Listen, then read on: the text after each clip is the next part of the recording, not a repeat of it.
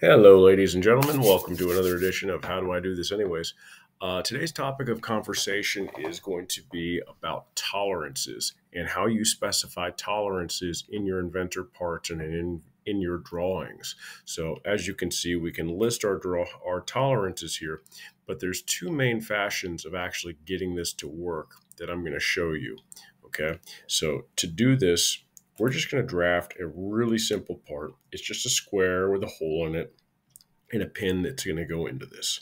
Normally, you would have two different parts and put them together in a, an assembly, but for here, that's not the focus here. We're just going to go ahead and make them one part.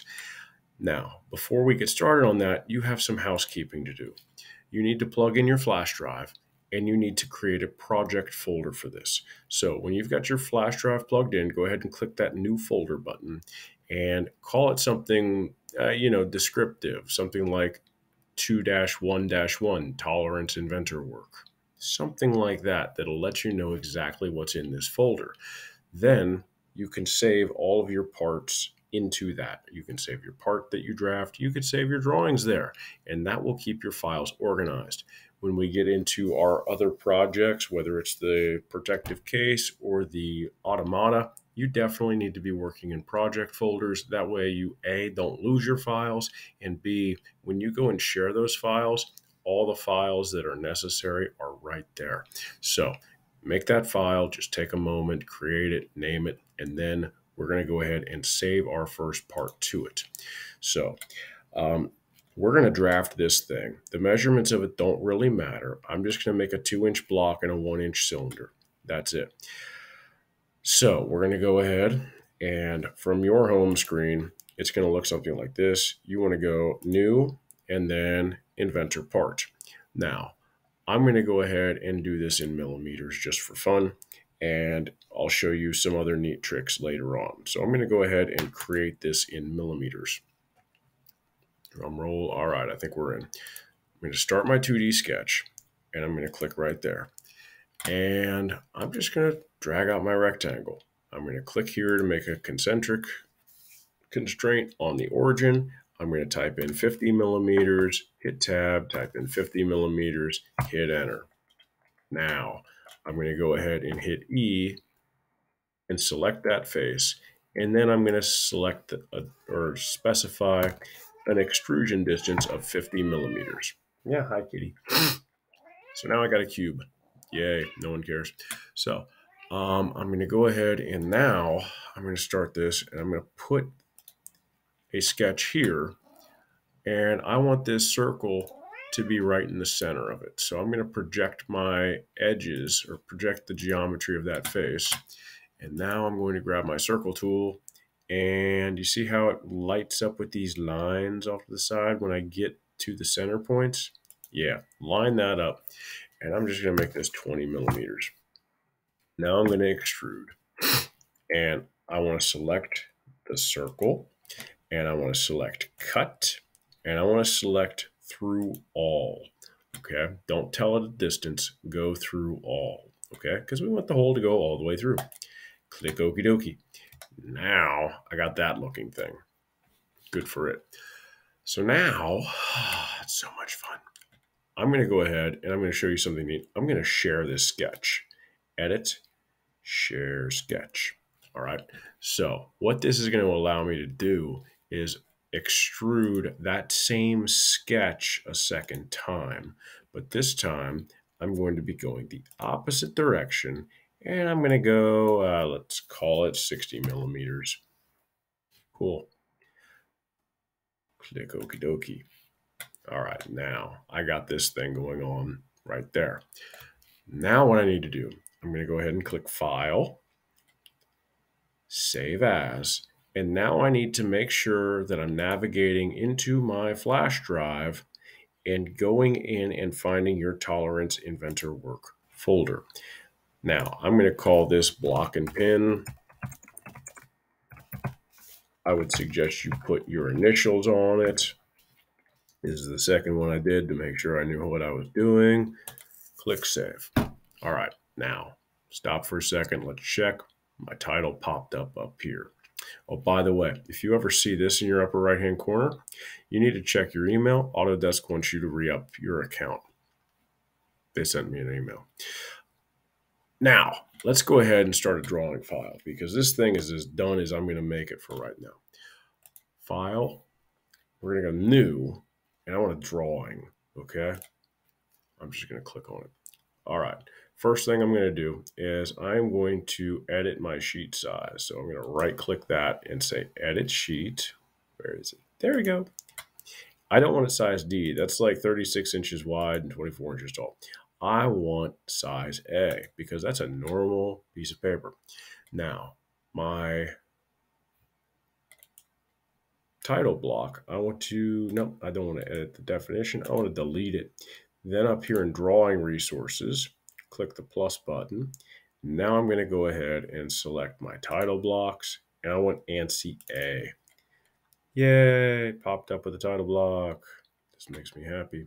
All right, so uh, go ahead and place a base view now.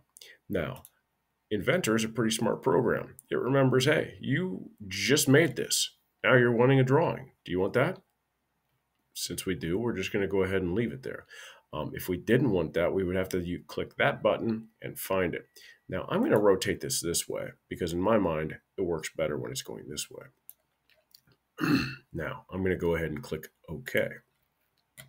Now you see how the cylinder, the hole cutout is represented with those dashed lines for hidden lines indicating that there's a hidden feature.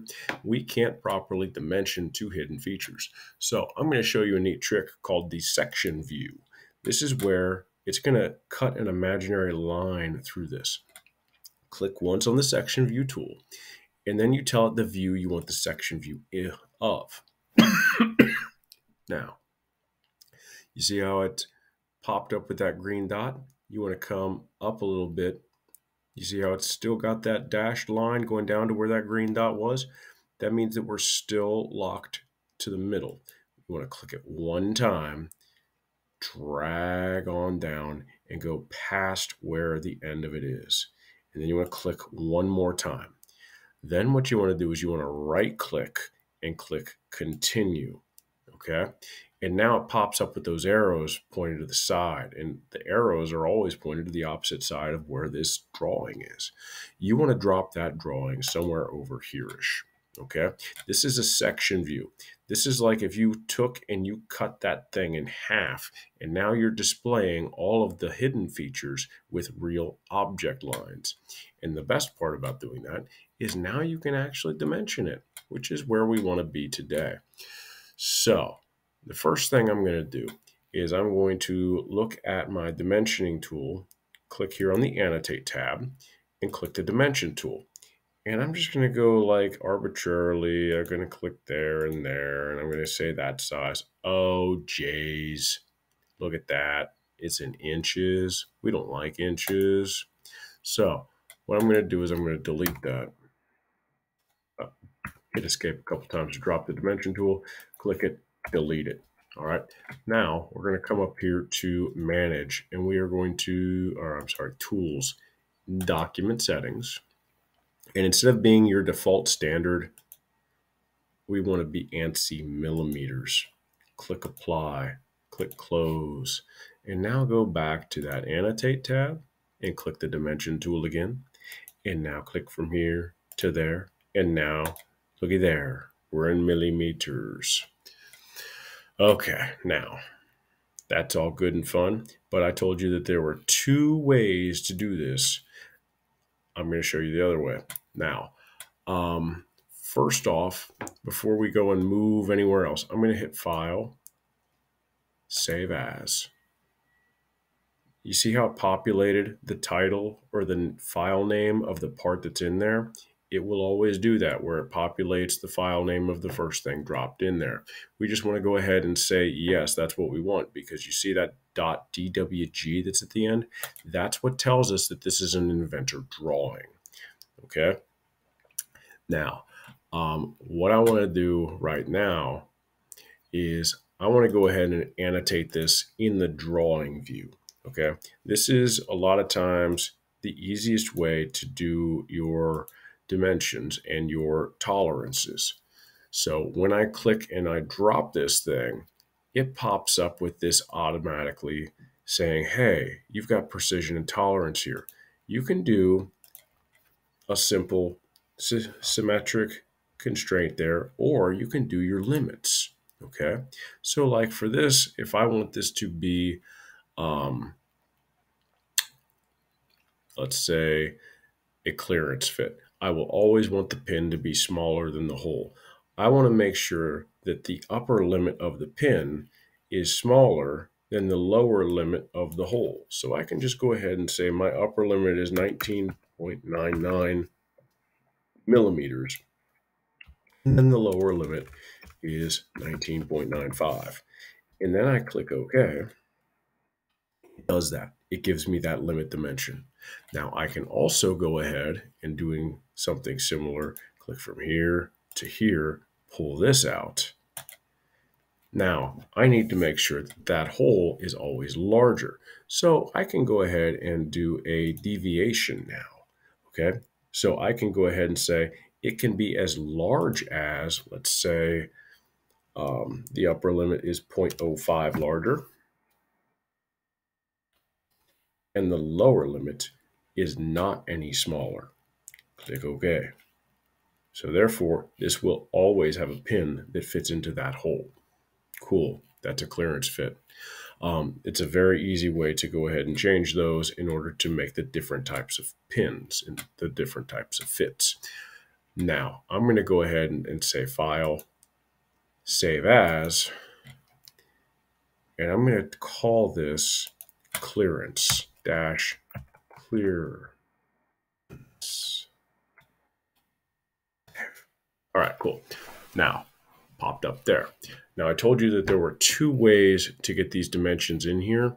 The other way is going back through your part file. Now, let me show you this neat little trick. We're going to come up here, and I'm just going to worry about the overall square block, okay? First, I'm going to go ahead and show you that this dimension to this dimension, come on, give me the dimension tool. That dimension to here is 50, okay? And then obviously the height is 50 as well. If I come in here and I go ahead and I edit this extrusion, I right click on the extrusion and I say edit feature. Now you see that little arrow that's right next to it? If I click that little arrow, I can add a tolerance to that. So I'm going to go ahead and put a symmetric tolerance there. And we're just going to call that 0.2 millimeters. Okay. All right. Now you see how that green arrow popped up? Yeah. You want to click OK here. Okay. Now I'm also going to go ahead and edit this sketch. You see how it was 50 by 50? I'm going to double click that to pop up with the ability to edit it. I'm going to click this arrow again, and I'm going to add a tolerance to that too. Okay, it's going to be a symmetric, and I'm just going to call it point two again. And now I'm going to click OK. You can go through any flavor of um, tolerance you feel like here.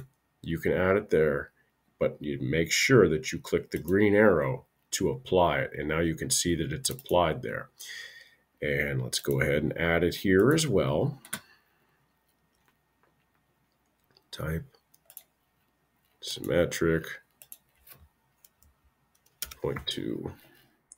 Okay. Green check. All right, cool. So we're getting a variance of 0.2 millimeters plus or minus on that. So when we go ahead and do this, if I inspect this and just measure the side of this, it's still 50 millimeters. But inside of Inventor, it knows that it can be 50 millimeters plus 0.2 or minus 0.2 and still be within tolerance. It's carrying that data with it. Now, since I changed the part, I need to click Save. Okay. Now, I'm going to come over here to my block and pin. And I'm going to click dimension again. And I'm going to go from here to there. And it's still saying 50. Huh. Well, delete that. No, no, really. Drop the dimension tool, delete that. And now what we're going to do is we're going to retrieve model annotations. So that tolerance you put into the part, into the model, is an annotation. So the first thing you need to do is you need to select the view that you want to retrieve those in. Click that one. And now you see how it's popping up with those. We want to select those features. Boom, boom. Good enough. And now we're going to click apply. Okay. And you know how they grade it out? That's because it's expecting you to want to select other views and start this process over again. Go ahead and click cancel. Now, if you know me, you know that you shouldn't have these dimensions here on your drawing. So we're going to go ahead and pull those off to the side. Now, special note, you see how this one says 50.000 plus or minus two zero zeros? That's because we specified that precision in the part view, whereas the dimension for this thing was just 50.00 but the precision here is just to two decimal places, whereas the precision that we specified in the part view was to three decimal places. So it's pulling these annotations from the part instead of asking you to put them in the drawing file. Just a small difference. If you get parts from online, like from catalogs and whatnot, they should have all the tolerances and annotations in it. And so you would just bring those on through with your assemblies and your drawings. Um, you'll get to that step later. But this is essentially how you do this. Now, what I would suggest you do is you go ahead and you annotate when you're done with your drawing because you need to make sure that you do a clearance fit a interference fit as well as a transition fit for the pin and the block. So this is going to be my pin and block interference fit. Click okie dokie, and now boom, it's right there. It's got my name there, it's got the date, it's got what the drawing of the thing is, the title of it is. Oh, that's just gorgeous. Let's just go ahead and click save.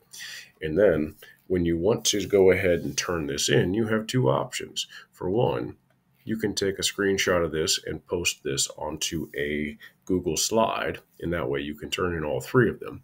Or if you're turning in these for realsies, file, print, and you want to print to PDF, that's one way to do this. Or file, export, PDF. And then you can make a PDF and it'll save it in the same folder. PDFs are great. You can open PDFs on your phone. That means you can send dimension drawings to people from your phone. So, uh, hopefully you help or this helped you out. And if you have any questions, let me know. Take care.